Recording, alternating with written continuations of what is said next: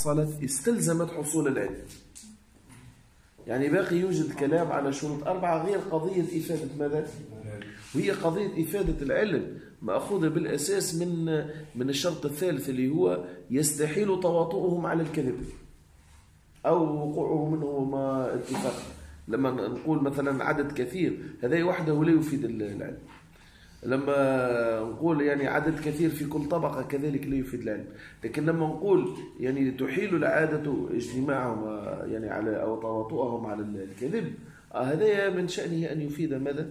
العلم إيش قال؟ وقد يقال آه، يعني هنا لما لما يذكر مثل الكلام وكأن يعني وكأن ابن حجر اعتبر الانضياف هذا يعتبره شرطا رابعا واعترض عليه وح يعني أقر ذلك الاعتراض وقد يقال إن الشروط الأربعة إذا حصلت استلزم حصول العلم إيش قال وهو كذلك في الغالب. واضح ولا؟ لكن قد يتخلف عن البعض لمانع إلى آخره. إذا تخلف أحد هذه الشروط آه يعني آه وبالتالي سوف تتخلف إفادة العلم يعني لذاته ويخرج عن دائرة المتواتر. بينما واضح هذا العلم. آه. العلم صنفناه العلم أي. العلم الضروري والعلم النظري صحيح. فمن مراتب العلم حكينا على المحتف بالقراءة. شوف إحنا يمكن أن نتكلم على العلم عموما وعلى العلم باعتباره مرتبة إذا تكلمنا على العلم باعتبار أنه له مراتب فيوجد العلم والظن والشك والوهم والخيال. لكن هنا لما نتكلم على العلم دون أن نقيده فنريد به اليقين. لكن هذا اليقين قد يقع بالخبر المتواتر. وهذا ما سماه يعني العلماء يعني أو حكموا فيه على المتواتر بأنه يفيد العلم الضرورية يعني لا يحتاج إلى مؤيدات ولا يحتاج إلى نظر بل هو يفيده هكذا يعني آليا بداهة. والعلم النظري يعني يمكن أن يستفاد من غير المتواتر لكن لابد له من قرائن أخرى تعينه. يعني إحنا وهذه فما ادعاء جديد اللي صيحة جديدة خرجوا حاولوا يخرجوا بها في الحجاز وغيرها. مش مش يلغيوا منظومة الفقه الكل. قالوا ولن نعتمد إلى المتواتر. آه، ما نعرفش سمعتوا بها مؤخرا. هو رئيس إيه، هو سمعت الخطة ما أكد عليها وهي هي أقرب ما تكون تكون المسألة هذه يعني انك الجماعه اللي يدعوا اللي هما قرآنيين يعني زورا وبهتانا. ويريدوا أن يلغوا يعني المنظومة الفقهية ويلغوا يعني الثوابت التي الامه شوف الخبر المتواتر يفيد اليقين باعتبار ذاته دون أن أن يحتاج إلى أن يحتف بقرينة أخرى. لكن هل يعني ذلك أن كل ما جاء كل ما كان علاوة على المتواتر؟ يعني وطبعا هو قليل جدا يعني في يعني في موسوعتنا يعني الإسلامية. يعني اللي مش جينا من بعد أحكام ربما يعني الصلاة والصيام وغيرها يعني من من الأحكام. يعني هل كلها يعني في حيز الظن وليست يقينية؟ لا. الخبر الواحد إذا احتف بقرائن أخرى وبمؤيدات أخرى فيرتقي كذلك إلى درجة العلم. لكن العلم هذا مش مش نسميه علم آه يعني ضروري بل هو علم ماذا؟ نظري. وهذا اللي قالوا واش قالوا أنا بعد ما ذكر الشروط الأربعة الدكتور محمود رحمه الله آه يقول حكمه يعني المتواتر. قال المتواتر يفيد العلم الضروري أي اليقيني الذي يضطر الإنسان إلى تصديق به تصديقا جازما كمن يشاهد الأمر بنفسه. يعني وهنا تبرز قوة المتواتر في أنه يفيد العلم دون أن يحتاج إلى مثلا قرينة أخرى. أما الأخبار الأخرى وإن لم تكن متواترة هي باعتبار ذاتها لا ترتقي إلى درجة اليقين. لكنها إذا احتفت بقرائن أخرى مثل ما رأينا مثلا في حديث لا وصية لوارث. شفناها ولا؟ وغيرها يعني من من الأمور. تحتف بقرائن أخرى وترتقي يعني بذلك الحكم إلى درجة اليقين. اليقين النظري اي طبعا. هو يقين. لما نتكلم على نظري ولا ضروري هو طريق الوصول إلى ذلك اليقين. لكن المنتهى هو يقين واحد. لكن هذا وصلنا إليه بسهولة باعتبار ان ان أن هذا الخبر يعني استند إلى ركائز قوية جدا. والآخر وصلنا كذلك إلى يقين ولكن ركائزه باعتبار السند والرجال. ليست بتلك القوة لكن كانت لها مؤيدات أخرى وقرائن أخرى جعلتها تفيد اليقين. كما هو لله المثل الأعلى. إحنا ساعات الانسان يبني تلقاها عرصة قوية برشا. ساعات تلقاها سقف ماهوش قوية لكن يزيدوها كل يزيدوه ركبة يقولوا جماعة المدي هكاك آه مناكب ما فوالا مناكب وغيرها وتولي كذلك احتفى بالقرائن وتولي تقريبا بنفس ال- القوة. باهي. يعني هذا يعني فيه صفعة يعني قوية في وجه الذين يدعون ان أن ال- ال- المنظومة الفقهية باعتبارنا فيها اختلاف لا تفيد ال- اليقين وكلها داخلة في حيز يعني ال- الظن. طيب. وكذلك. قضية المشهور يعني ليس كله لما أتكلم على المشهور أتكلم على المشهور يعني عند العامة لحظة دي آه أيوه إيش قال؟ قال وما تخلف إفادة العلم عنه كان مشهورا فقط هنا يعني كتب بالمعنى اللغوي عندي في الحاشية اللي عندي يعني مشهور ليس بالمعنى الاصطلاحي لأنه بالمعنى الاصطلاحي يكون المشهور هو غير المتواتر. يعني المشهور هو ما آه، كان آه، كان عدد رواته أكثر من اثنين وإلى ما هو دون حد ال- المتواتر. آه، فهذا لما نتكلم على المشهور الاصطلاحي. أما إذا تكلمنا على المشهور اللغوي فيدخل فيه المتواتر ويدخل فيه كذلك غير المتواتر شيخ المشهور الاصطلاحي يدخل فيه كل ما هو فوق فوق العزيز ودون المتواتر نعم. يعني ليس مقيد بثلاث لا لا ليس مقيد. مقيد بما فوق الثلاثة ودون آه، حد التواتر. ودون حد التواتر. لكن يقال يعني في الكتاب قال إن إن بحث المتواتر لم يذكر في الأصل في أصل النخبة لأنه من بحث أصول الفقه. يعني آه، هذه الشروط وأنه تستحيل آه، تواطؤهم على الكذب. هذا في الأصل هو من بحث آه، علم أصول ال- ال- الفقه. فلما نتكلم على المشهور والغريب والعزيز نحن نتكلم عن عدد الرواة فقط. تقسيم للحديث باعتبار عدد الرواة بقطع النظر عن أحوالهم. لكن لما نتكلم على المتواتر نتكلم على هذا القسم باعتبار عدد رواته وباعتبار أحوالهم. يعني لو كان عددهم كثيرا جدا لكنهم يعني باعتبار حالهم أو إقاماتهم أو معاصرتهم لبعضهم لا ترتقي درجتهم إلى أن تحيل العادة تواطؤهم على الكذب فيصير غير متواتر. فالمتواتر لا يراعى فيه جانب العدد فقط يراعى فيه جانب الكم والكيف. أما المشهور والعزيز والغريب بالمعنى الاصطلاحي يراعى فيه جانب, جانب, جانب الكم فقط. وتقسيم الحديث إلى صحيح وحسن وغريب وضعيف هذا يراعى فيه الكيف دون الكم. قد يكون الراوي واحد قد يكون اثنين قد يكون أكثر هذا لا لا يؤثر في الصحة والضعف وإنما يؤثر في كونه مشهور وعزيز وغريب أو غير ذلك. لا لا مكتوبين عندكم في ال في ال في المتن هم مش يجي مش يجينا. أنا. ولذلك يعني على تواتر النصارى مثلا على صلب المسيح. أي مثلا يعني لأنه, لأنه وإن كان ربما عددهم كثير لكن العادة لا تحيل تواطؤهم على الكذب. يعني الكيف طبعا طبعا.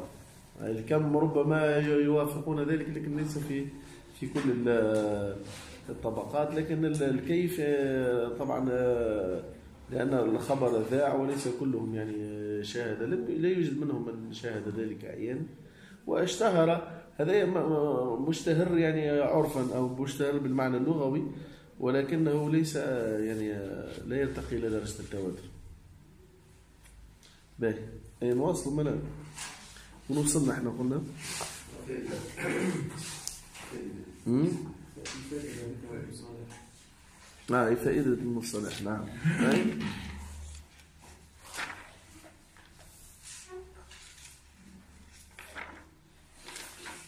تفضل يا سيدي. قال المصنف رحمه الله تعالى فائدة ذكر ابن الصلاح بأن مثال المتواتر على التفسير المتقدم يعز وجوده إلا أن يدعى ذلك في حديث من كذب علي وما ادعاه من العزة ممنوع وكذا ما ادعاه غيره من العدل لأن ذلك نشأ عن قلة اطلاع على كثرة الطرق وأحوال الرجال وصفاتهم المقتضية لإبعاد العادة أن يتواطؤوا على كذب أو يحصل منهم اتفاقا ومن أحسن ما يقرر به كون المتواتر موجودا وجود كثرة في الأحاديث. وجود وجود. آه، وجود. ومن أحسن عندك ومن كذا آه استنى. ومن أحسن ما يقرر به كون المتواتر موجودا أي؟ وجود كثرة. أي وجود علاش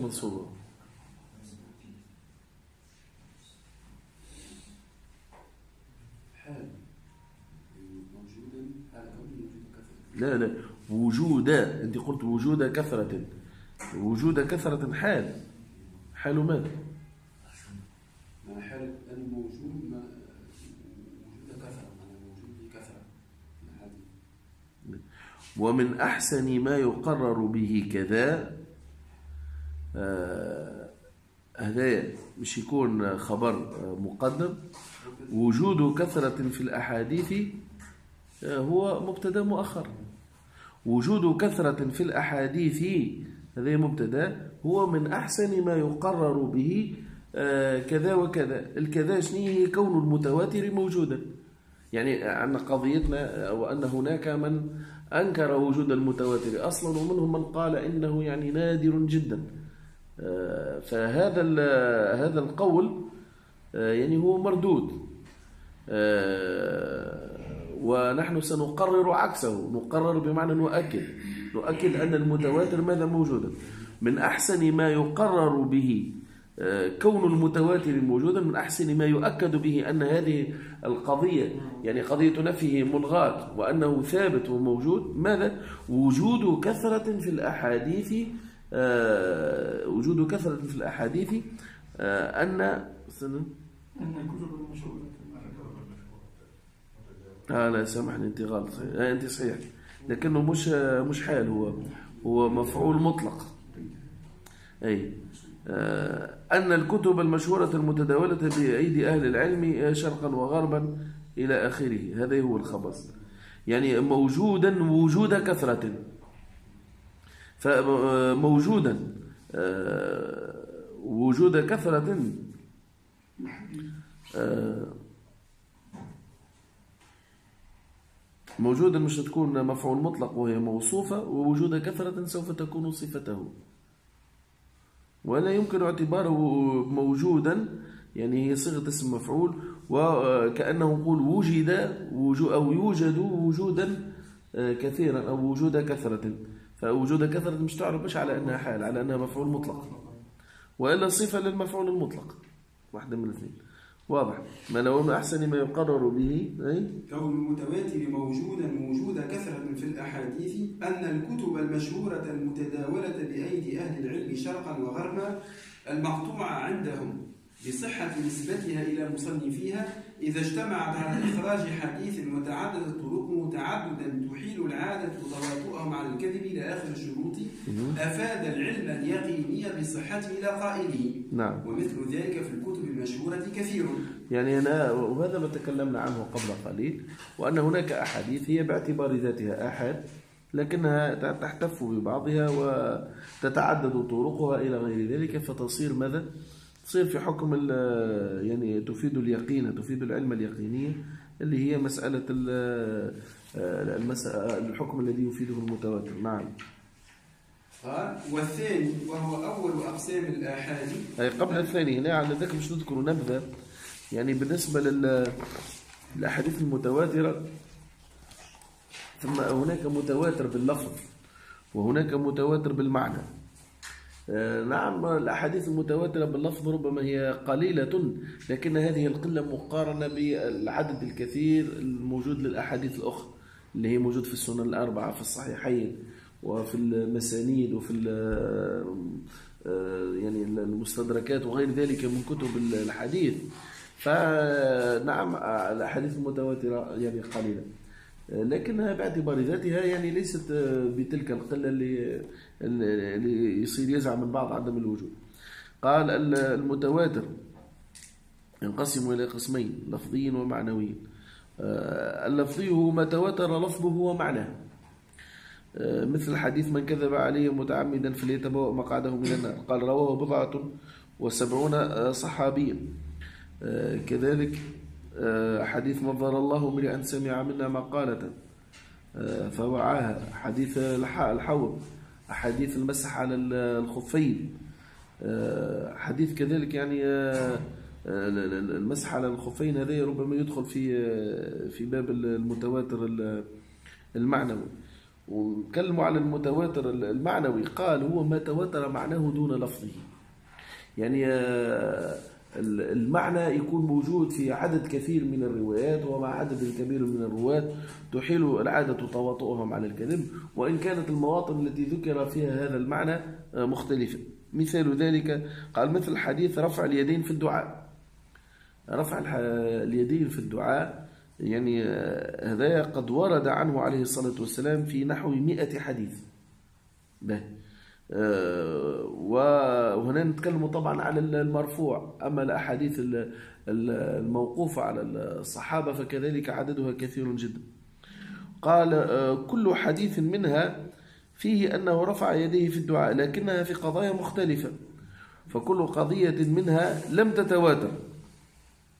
آه، والقدر المشترك بينها يعني جميعا هو الرفع عند الدعاء. آه، وهذا يتواتر باعتبار مجموع الطرق. ذكر الأحاديث مثل حديث ال- ال- الاستسقاء حديث غزوة بدر. وذكر الرجل يرفع يديه يعني آه، كال آه، ومطعمه حرام ومشربه حرام. إلى آخره. فمجموع الأحاديث التي يعني ذكر فيها ذلك عن النبي صلى الله عليه وسلم يفيد التواتر بالنسبة لها النقطة هذه. لكن هناك مواطن يعني آه، في ال- يعني تقريبا أجمع العلماء على استحباب رفع اليدين فيها.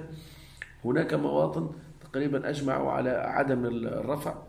مثلا من المواطن التي أجمعوا فيها آه، مثل يعني صلاة دعاء الاستسقاء أو الدعاء يعني آه، عموما. المواطن التي اتفقوا على أنه لا ترفع فيها اليد بالنسبة مثلا للخطيب آه، أثناء دعاء الخطبة.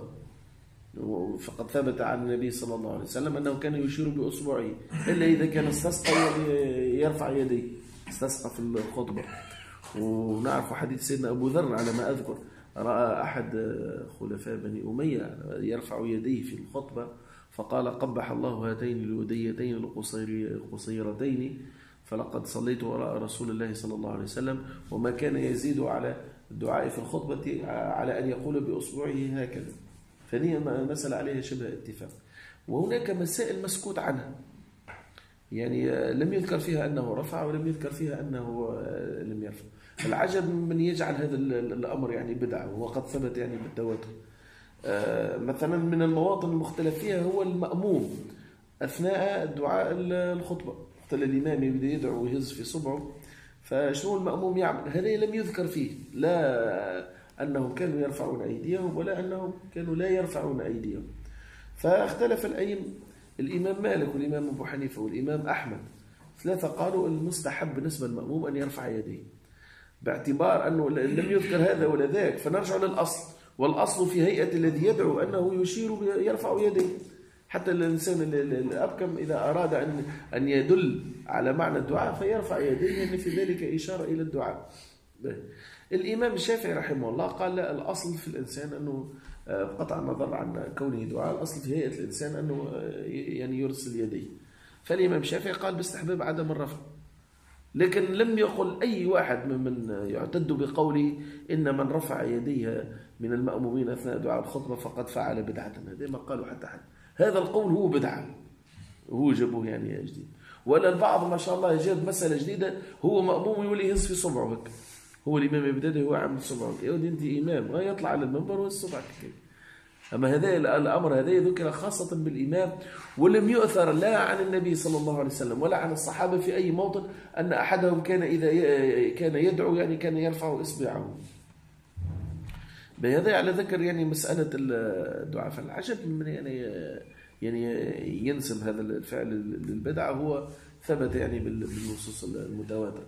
ربما بعض المواطن كذلك اللي هي فيها أدعية ذوات أسباب مثل الدعاء للدخول للبيت دعاء الخروج من البيت دعاء الخلاء هذه كذلك مواطن يعني استحب العلماء فيها عدم الرفع يجي داخل ما مش أما مطلق يعني الدعاء ودعاء بعض الصلوات وغير ذلك من المواطن فنقيسوها على ما اختلف العلماء فيه في دعاء الخطبة بالنسبة للمأموم. يعني ال- الأصل شنو؟ ال- الأصل ال- ال- الجمهور الأئمة قالوا يعني آه، إنه مستحب باعتبار أن الأصل في هيئة الذي يدعو أن يرفع يديه وغيرهم قال إنه آه، إن الأصل أن لا يرفع يديه ما دام لم يرد نص من هنا ولا من هناك. طيب آه، هذا ما قلنا المتواتر ماذا؟ المعنوي. ووجوده قال يوجد عدد لا بأس به من الأحاديث المتواترة منها حديث الحوض وحديث المسح على الخفين وحديث رفع اليدين في الصلاة. وحديث نظر الله امرئا وغيرها كثير لكن لو نظرنا إلى عدد الأحاديث الآحاد لوجدنا أن الآحاد عفوا أن الأحاديث المتواترة قليلة جدا بالنسبة إليها. يعني المتواترة قليلة بالنسبة للآحاد. لا باعتبار ذاتها. وأشهر المصنفات فيها الإمام السيوطي رحمه الله ألف الأزهار المتناثرة في الأخبار المتواترة. رسالة يعني فيها ومرتبة على أبواب يعني آه، معينة. كذلك ألف السيوطي رحمه الله قف الأزهار فيما تواتر من الأخبار على ما أذكر وهو تلخيص الكتاب السابق. والشيخ آه، الإمام محمد بن جعفر الكتاني رحمه الله ألف نظم المتوا... المتناثر في الحديث المتواتر.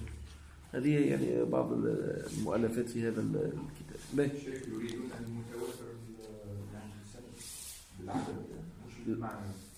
لا لا هو المتواتر معنى المعنوي أو المتواتر اللفظي يعني كلها فيها عدد كثير وتواتر سندها لكن المتواتر اللفظ ربما هو الذي يعني يقل يعني مقارنة بالمعنوي. يعني هو تواتر اللفظ والمعنى. مثل الحديث من كذب عليه متعمدا نظر الله امرئا سمع منا مقالة إلى آخره. أما المتواتر معنى يعني أنا لما نجي مثلا من المتواتر معنى مثلا أنا ذكر رفع اليدين في الدعاء. فلما نجي مثلا لكون الرسول عليه الصلاة والسلام رفع يديه مثلا في الاستسقاء فكالحديث هذاك الخاص بالاستسقاء لم يرتقي إلى درجة المتواتر. حديث صحيح وفي يعني وفيها يعني عدد كثير من الرواة لكن لم يصل إلى درجة المتواتر. ونجي مثلا للموطن آخر نجده رفع ذكر رفع اليدين في مثلا في وقعة بدر. رفع يديه يعني حتى سقط رداؤه عن كتفيه الشريفين. ونجده كذلك الحديث يا أيها الناس إن الله قد أمركم بما أمر به المرسلين. فقال يا أيها الرسل كلوا من الطيبات واعملوا صالحا. وقال يا أيها الناس كلوا من طيبات ما رزقناكم واشكروا لله. ثم ذكر الرجل أشعث أغبر يطيل السفر يرفع يديه. فشفت هنا لما نجي للحديث هذا وحده كذلك ليس متواتر. لكن هذا كي تجمع مع حديث غزوة بدر وتجمع مع حديث الاستسقاء وتجمع مع مع, أحاديث أخرى كثيرة فيصير ال- المشترك بين كل هذه بلغ كثرة تحيل العادة تواطؤهم عن الكذب وأنه كان إذا يدعو يعني آه، يصحب ذلك الفعل اللي هو الدعاء يصحبه ماذا رفع اليدين. فنقول أن أن رفع اليدين في الدعاء هو آه، ثبت بسند متواتر. والتواتر معنوي ليس تواترا. ماذا؟ لفظي. هذا الفرق بينهم. نعم. الاثنين جمع نحو 311 حديث في كتاب نظم متناثر الحديث أي؟ وقال مثلا جمع في كتابه ما اجتمع عنده ولو 10 طرق فاكثر من الروايات كذلك. اي وهذا هو الراجح وأن المتواتر يعني آه، لما نتكلم على العدد ده و- وانه أرجح الأقوال ان ان أن يك- أن لا يقل العدد عن عشرة. لكن يمكن تجد حديث في رواته أكثر من عشرة ولكنه ليس متواتر. لأن قلنا دائما أن المتواتر لا يراعى فيه جانب العدد فقط. العدد وزد عليه أن- أن تحيل العادة تواطؤهم على ال- الكذب. يعني تختلف أمكنتهم. و... ومواطنهم بحيث أنه ربما, هم لم يلتقوا ولكن يروون نفس الكلام هذا إن دل فهو يدل على صدقه نعم. أي نواصل والثاني وهو أول أقسام الآحاد ما له طرق محصورة بأكثر من اثنين وهو المشهور عند المحدثين. نعم. الثاني وهو قال آه، في في متنه قال إما أن يكون بلا حصر عدد معين أو عندنا المتن قدامنا يقول الخبر إما أن يكون له طرق بلا عدد آه، معين أو مع حصر بما فوق الاثنين أو بهما أو بواحد. فهنا الثاني المقصود به يعني بما آه، مع حصر بما فوق الاثنين. الثاني قال وهو أول أقسام الأحد ما له طرق محصورة بأكثر من من اثنين. نعم. أي وهو المشهور. عند المحدثين. أي. سمي بذلك لوضوحه وهو المستفيد على رأي جماعة من أئمة الفقهاء. بعض الفقهاء يعني آه، آه، قالوا المشهور خلينا نسميه ماذا؟ نس- نسميه المستفيد. وتركوا كلمة المشهور يعني في المشهور على الألسنة المشهور اللغوي وبعضهم لا يعني هو هو لم يجتمع العلماء في ندوة علمية وقرروا قالوا هو المشهور نعني به كذا وال ولكن الذين جاءوا بعدهم تتبعوا كلامهم ووجدوا يعني هذه الاستعمالات فاستخلصوا منها أن المشهور يراد به كذا والعزيز يراد به كذا.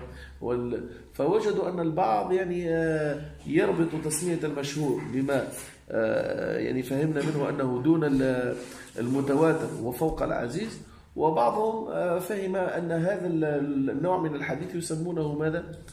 مستفيضا نعم على رأي جماعة من أئمة الفقهاء. أي؟ سمي بذلك الانتشار من فاض الماء يفيض فيضا.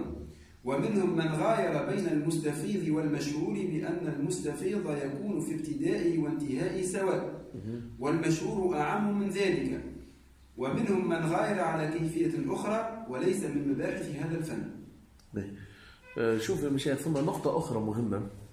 يعني ال- المحدثون لما آه، تكلموا عن أقسام الأحاديث قالوا هذا حديث مثلا ضعيف وسأوح يعني و- وإلا حسن وإلا صحيح وغير ذلك فهم ذكروا النوع وذكروا كذلك الحكم. وبما في ذلك بحث المتواتر. وقالوا إن المتواتر يفيد العلم اليقين وغير المتواتر لا يفيده. لكن دائما فهم أو حكم الفقهاء يكون أعم. لأن المحدثين يعني إذا نظروا نظروا إلى الحديث باعتبار نفسه لا باعتبار غيره. يعني لما يتكلموا على المشهور وإلا على العزيز وغيره يقول لك هاو هذا مقبول هذا يستدل به آه، وهذا لا يستدل به. آه، أئمة ال- الفقه أو الأصوليون ينظرون إلى الخبر ولا باعتبار نفسه فقط بل ينظرون إلى آه، قضايا أخرى. وذا- وذاك علاش لما ذكر ابن حجر رحمه الله وأن ال- ال- ال- الآحاد يمكن أن يفيد العلم النظري يعني إذا احتف بالقرار قال لك لم نذكر هذا الكلام في الأصل لأنه ليس من بحث علم الإسناد بل هو من بحث علم ماذا؟ الأصول. وهذا يعني هذا الأمر الذي لم يف... لم تفهمه يعني هل الطائفة المبدعة يعني في هذا الزمن. يعني يأخذون أحكام المحدثين ويسلطونها يعني تسليط الفقهاء. يعني هو لما يجي لما يجد يعني محدث من من المحدثين قال إن هذا الحديث صحيح أو ضعيف أو لا يحتج به يعني المحدث نظر إلى ذلك الحديث فقط. أما الفقيه فينظر إلى كل ما يتعلق بتلك المسألة من أدلة ومنه يعني تعريف علم الفقه. الفقه لغة هو الفهم واصطلاحا هو العلم بالمسائل العملية المستنبطة من أدلتها التفصيلية. فالفقيه ينظر إلى المسألة من جميع الزوايا وذاك علاش لا ينبغي أن يستدل بعضهم إذا آه، إذا صح الحديث فهو مذهبي. لأن الذي قالها فقيه وليس محدث. في فرق بين الصحة الفقهية وبين الصحة الإسنادية أو ال- الحديثية. يعني قال الإمام أحمد والإمام أحمد معروف على أنه إمام فقه.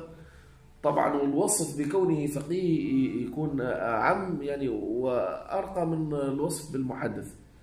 الإمام الترمذي رحمه الله محدث وليس يعني فقيه لأنه تجده يذكر الحديث يذكر درجة الصحة والضعف ويذكر يقول هذا مذهب أبي حنيفة ما يقولش أبو حنيفة ودم يقول أهل الكوفة إشارة إلى أبي حنيفة وصاحبيه وبه قال مالك ولو به قال يعني الشافعي وبه قال أحمد أو وبه قال الثوري لم يقل في مرة وبه أقول ولا هذا هو مذهبي لا. هو شافعي وبعضهم يقول يعني هو حنبلي يعني في في مسلكه فهو يذكر الحديث يذكر درجته باعتبار الرجال الذين يعني رووه والطريق الذي رووه رووه. لكن هل يستنبط منه مسألة فقهية هذه هي وظيفة الفقيه. فالفقيه ينظر إلى ذلك الحديث وإلى غيره. الإمام البخاري رحمه الله اختلفوا فيه. بعضهم قال هو حنبلي وبعضهم قال هو مجتهد. وادعاء كونه مجتهد يعني من طريقته في وضع العناوين. لأنه لما يضع ال- ال- العناوين في في في صحيحه آه، الجامع فتظهر منها كيفية استنباط مسألة فقهية يقول لك باب كراهة كذا باب كذا.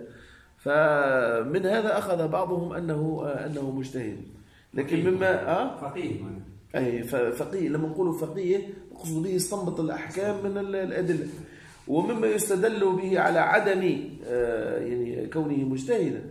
هو تلميذه الإمام الترمذي. الإمام الترمذي هو تلميذ البخاري. لم يقل في مرة من المرات في سننه وهذا مذهب محمد بن إسماعيل البخاري. ذكر الإمام البخاري في صناعة الحديث. يذكر رواية من الروايات يقول وسألت محمد بن إسماعيل عن هذا الحديث فقال لا أعرفه. لكن لم يذكره في عداد الذين اعتمدوا مثلا حديثا من الأحاديث في آه، إثبات مسألة يعني فقهية أو حكم آه، شرعي. وإن كان يعني هو شيخه إذا علم الإمام الترمذي أنه يعني مجتهد يعني كان هو أولى الناس بأن يثبت مذهب أستاذه يعني وشيخه. وهناك أحاديث كثيرة مروية في في البخاري ومروية كذلك في سنن يعني الإمام الترمذي. طيب شيخ الإمام أحمد هل هو فعلا مم؟ تلميذ الإمام البخاري هل هو فعلا تلميذ الإمام أحمد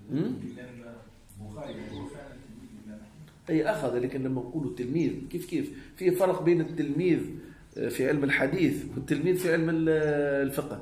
لما نقول الإمام القاضي أبو يوسف تلميذ أبي حنيفة ولا ابن القاسم تلميذ الإمام مالك يعني هو أخذ عنه مذهبه واعتمد أصوله في إثبات ال- الأحكام الفقهية.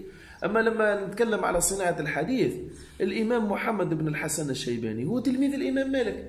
مش مش نقول إن الإمام محمد بن الحسن مالكي المذهب لا بالعكس هو يناقش المالكية في كثير يعني من المسائل. بل حنف الموطأ.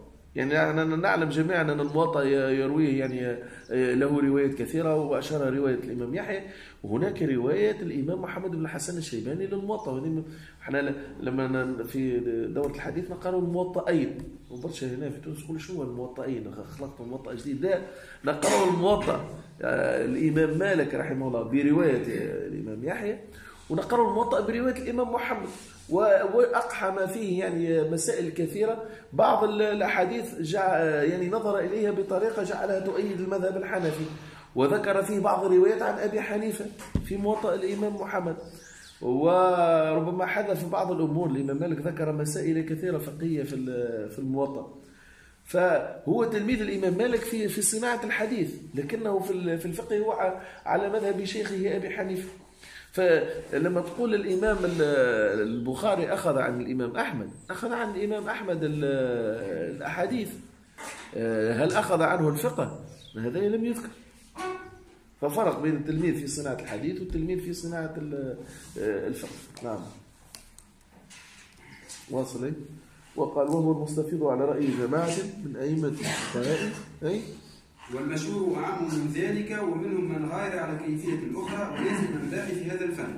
أي يعني أنا المستفيض بعضهم قال لا لابد أن تكون نفس ال- الكثرة من بدايته إلى نهايته. بعضهم قال لا هذا ليس من من الباحثين هنا. نعم. المفيد يعني فيه قول أن المستفيض مرادف للمشهور وبعضهم لا يعتبره مرادفا. نعم. ثم المشهور يطلق على ما حرر هنا وعلى ما اشتهر على الألسنة. فيشمل ما له إسناد واحد فصاعدا بل ما لا يوجد له إسناد أصلا. نعم. به شوف هذا هو ال- الذي تكلمنا عنه. يعني المشهور الاصطلاحي المشهور عند المحدثين هو ما رواه آه، يعني ثلاثة رواة آه، فأكثر إلى حد آه، دون أن يبلغ حد التواتر. هذه المشهور قال؟ قال ثم المشهور يطلق على ما حرر هنا. هذا المشهور الذي ذكرناه. وهناك مشهور آخر اللي هو المشتهر على على الألسنة. وبالنسبة لل- للمشتهر على ال- الألسنة آه، يعني فيه نماذج جميلة هنا ذكرها ال- الدكتور. شوف قال قال هذا يسمى قال المشهور الاصطلاحي. آه، المشهور الاصطلاحي يسمى كذلك مستفيضا. قال ما رواه ثلاثة فأكثر في كل طبقة ما لم يبلغ حد التواتر. وهذا ال- ال- المشهور الذي تكلم عنه ابن حجر. به. المشهور غير الاصطلاحي. قال هو ويقصد به ما اشتهر على الألسنة من غير آه، شروط تعتبر. فيشمل ما له إسناد واحد يشمل ما له آه، أكثر من إسناد وما لا يوجد له إسناد أصلا. ولاحظوا أن الدكتور محمود الطحان هنا رحمه الله آه، يعني تقريبا نقل نفس عبارة ابن حجر في آه، في كتابه. أنواع المشهور غير الاصطلاحي. قال له أنواع كثيرة. قال فهناك حديث مشهور بين أهل الحديث خاصة. مثاله حديث أنس أن رسول الله صلى الله عليه وسلم آه، قنت شهرا بعد الركوع يدعو على رعلة وذكوان. الحديث هذا موجود في الصحيحين ومشتهر عند المحدثين. آه، حديث آخر مشتهر بين أهل الحديث والعلماء والعوام. المسلم من سلم المسلمون من لسانه ويده. مشتهر على الألسنة وهو كذلك صحيح يعني رواه البخاري ومسلم. فما حديث مشتهر بين ال- الفقهاء أبغض الحلال عند الله أو أبغض الحلال إلى الله الطلاق. هذا خاصة يعني في مباحث الفقه وأصول الفقه يذكر كثيرا. هذا الحديث لا يوجد في الصحيحين. قال ذكره الحاكم في مستدركه يعني آه، وقال صحيح ووافقه الإمام الذهبي رحمه الله.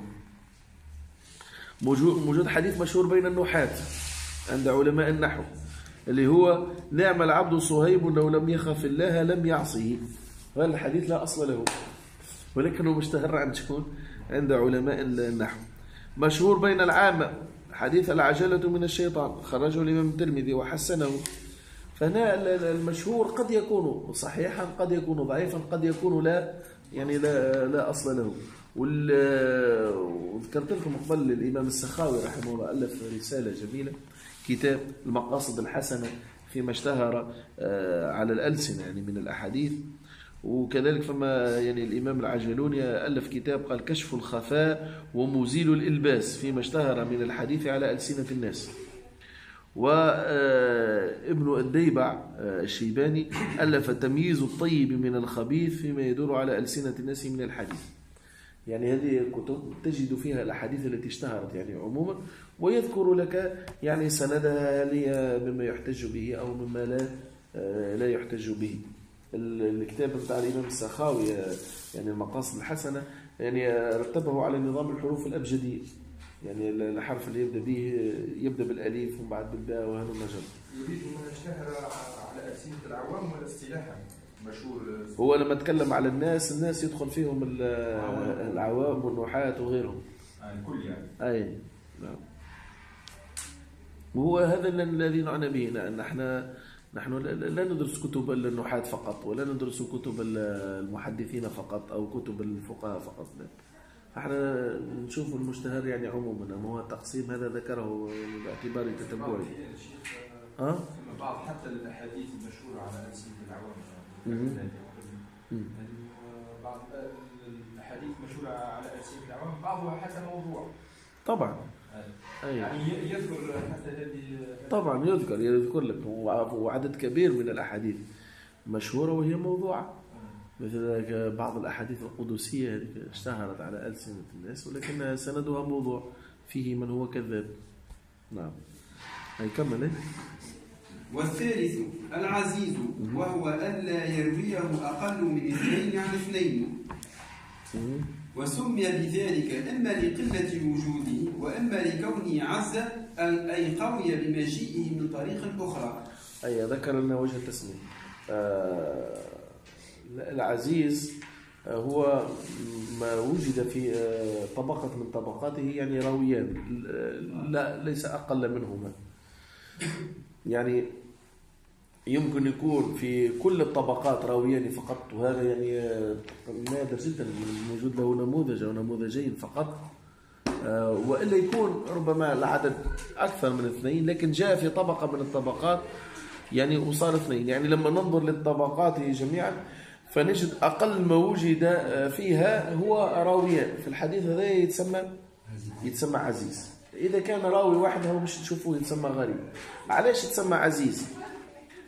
بعضهم قال آه، لندرته لأن الشيء العزيز هو القليل لأن نماذجه يعني الحديث آه، هذا الذي آه، يوجد في طبقته أقل شيء راويا قليل فسمي بذلك عزيزا.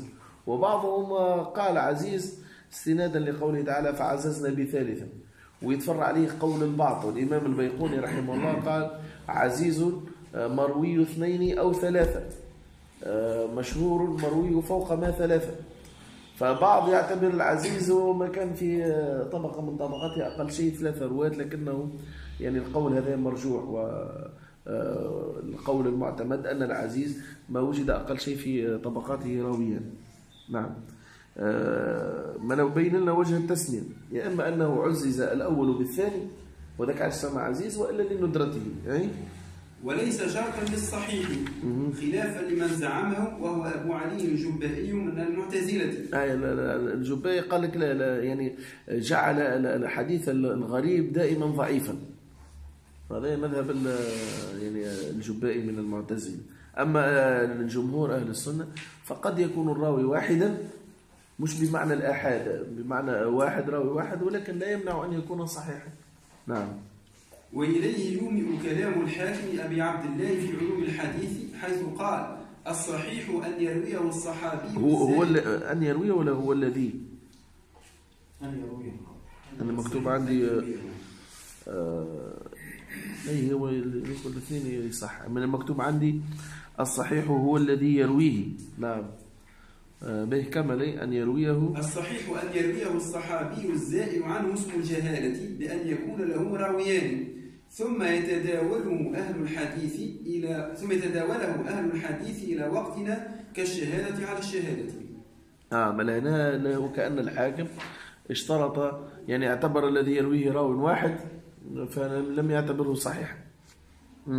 وصرح القاضي أبو بكر بن العربي في شرح البخاري بأن ذلك شرط البخاري وأجاب عما ورد عليه من ذلك بجواب فيه نظر لأنه قال فإن قيل حديث الأعمال حديث الأعمال بالنيات فرد لم يروي عن عمر إلا علقمة قال قلنا قد خطب به عمر على المنبر بحضرة الصحابة فلولا أنهم يعرفونه لأنكروه. كذا قال. أي لأن فهذا مذهب البعض أنه لا يعتبر الحديث الغريب صحيحا. يشترط أن يكون له أقل شيء راويا. اعترض بحديث يعني آه، إنما الأعمال بالنيات. ورد بهذا الرد. نعم هي وتعقب بأنه لا يلزم من كونهم سكتوا عنه أن يكونوا سمعوه من غيره. وبأن هذا لو سلم في عمر منع في تفرد علقمة ثم تفرد محمد بن إبراهيم به عن علقمة ثم تفرد يحيى بن سعيد به عن محمد على ما هو الصحيح المعروف عند المحدثين. طيب فهمت العركة هذه ولا؟ يعني هو ما استقر عليه قول الجمهور أن أن الغريب يمكن أن يكون صحيحا. بعضهم يعني طبعا هنا أبو علي الجبائي يعني هذا هو مذهبه. قال اعتبر الحديث الغريب اعتبره غير صحيح. لا يكون صحيحا إلا إذا كان هناك راويان فقط. آه، غيرهم آه، نسب هذا القول للإمام البخاري. قال قول الإمام البخاري رحمه الله اشترط ولم يصرح الإمام البخاري. وأنا الإمام الحازمي ذكر شروط الأئمة الخمسة رسالة كذلك جميلة جدا. آه، قالوا إن البخاري اشترط ذلك. قال كيف يشترط ذلك؟ وقد افتتح كتابه بحديث يعني فيه رواة يعني عددهم واحد آه، تفرد فيها أول شيء يعني سيدنا عمر رضي الله عنه ولم يروي عن عمر إلا آه، علقمة. قال لا آه، عمر كان يخطب بهذا الحديث ويسمعه يعني الصحابة فلو لم يكونوا هم سمعوه كذلك لأنكروا عليه هذا الحديث. شي يقول هنا هذا القول تعقب. لا يا أخي هو هو مدام مدام سيدنا عمر ثقة عندهم وسمعوه منهم ينكرونه لو سمعوا خلافه أو لو سمعوا شيئا يعني يتناقض مع ما تواتر لديهم مما أخذوه من النبي صلى الله عليه وسلم. أما أنهم آه، هو سمع خبرا لم يسمعوه فهذا ليس بقادح في ذلك الخبر ولا يعني أنهم كذلك سمعوه. قال ولو تنزلنا وقلنا طيب سيدي الصحابة سمعوه من عمر ورضوا لأنهم هم سمعوا كذلك. أي وما نقول في آه، في علقمة هو لم يروه من التابعين غيره. ولم يروي عن علقمة إلا محمد بن إبراهيم التيمي ولم يروي عن محمد بن إبراهيم إلا يحيى بن سعيد. وبالرغم من ذلك ذكره الإمام البخاري. يعني في مفتتح يعني صحيحه فهذا إن دل فهو يدل على أنه لا يشترط التثنية في الرواة ليصير الحديث ماذا صحيحا. وهو الذي سمى كتابه بالصحيح. الاسم الكامل لصحيح البخاري. هو اسم الشهرة صحيح البخاري. أما اسمه الكامل الجامع المسند الصحيح من أحاديث رسول الله صلى الله عليه وسلم وسننه وأيامه وفي رواية من أمور رسول الله صلى الله عليه وسلم وسننه وأيامه. فهو التزم الصحة في في صحيحه وبدأ أول ما بدأ بحديث يعني آه، غريب فهذا إن دل فهو يدل على أن الغريب عنده صحيح إذا توفرت الشروط في رجاله نعم؟ وقد وردت لهم متابعات لا يعتبر بها وكذا لا يسلم جوابه في غير حديث عمر. قال ابن رشيد ولقد كان يكفي القاضي لا لا رشيد رشيد. رشيد كقريش. مكتوب هنا في الحاشية. قال ابن رشيد نعم. ولقد كان يكفي القاضي في بطلان ما ادعى أنه شرط البخاري أول حديث مذكور فيه. نعم. وادعى ابن حبان نقيض دعواه فقال إن رواية اثنين عن اثنين لا ينتهي لا توجد أصلا. قلت إن أراد أن رواية اثنين فقط عن اثنين فقط لا توجد أصلا فيمكن أن يسلم. وأما صوره العزيز التي حررناها فموجوده لئلا يرويه أقل من اثنين عن أقل من اثنين. مثاله ما رواه الشيخان من حديث أنس والبخاري من حديث أبي هريرة أن رسول الله صلى الله عليه وسلم قال لا يؤمن أحدكم حتى أكون أحب إليه من والده وولده. الحديث. ورواه عن أنس قتادة وعبد العزيز بن سهيل ورواه عن قتادة شعبة وسعيد ورواه عن عبد العزيز إسماعيل بن علية وعبد الوارث ورواه عن كل جماعة. نعم. يعني آه، هذا فيما يتعلق بال- بالحديث ال- العزيز. آه، بعضهم ادعى وذكر هنا شكون. آه، ابن حبان رحمه الله. قال يعني لا يوجد الحديث العزيز هذا أصلا قال إذا أراد بذلك أن أن يكون في كل زمن راويان فقط. ربما نسلم ذلك. وإن كان بعضهم يعني آه، وجد يعني نموذجا لذلك. قال أما إذا أخذ العزيز بما آه، اتفقنا عليه من معنى وأنه آه، يكون ربما عدد رواته كثير لكن لا يقل آه، عن عن اثنين. إذا وجد في طبقة من الطبقات راويان فقط فهذا يتسمى عزيز. قال فهذا يعني موجود ودعوة ابن حبان يعني مردودة عليه. وذكر لذلك نموذج حديث لا يؤمن أحدكم حتى آه، أكون أحب إليه من والده وولده إلى آخره. أي الرابع هو الغريب كيف تو نحكي عليه إن شاء الله الجمعة الجاية الغريب. نسأل الله تعالى أن يجعلنا وإياكم من السماء والقول فاتحة أحسنه سبحان ربك رب العزة عما يصفون. سلام على المرسلين الحمد لله رب العالمين.